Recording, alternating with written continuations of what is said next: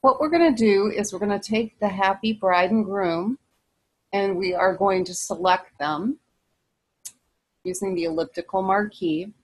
And then we're going to copy them, paste them over into the wine glass.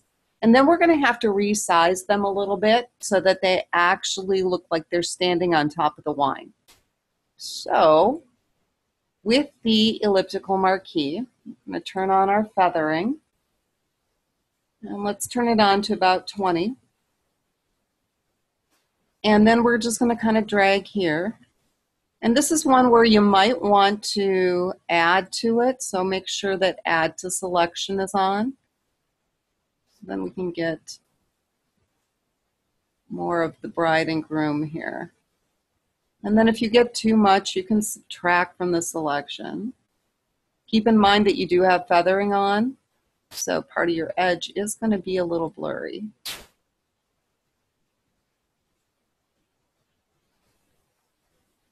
And if you wanted to see how it looked, go into Quick Mask.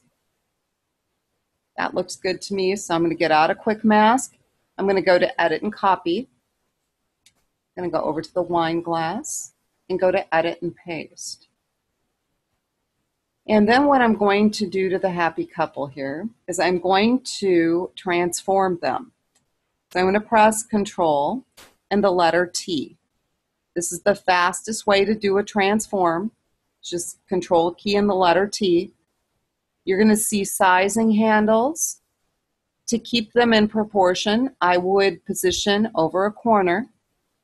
Press the Shift key. Keep your finger on Shift drag up and in. And then you're going to release the shift, going to point in the middle. And you'll notice when you're in the middle, you see the move tool. And you can kind of left drag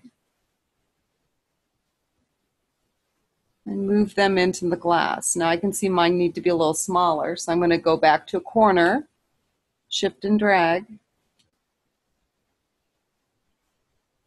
And then I'm going to press enter. I'm going to zoom in a little bit.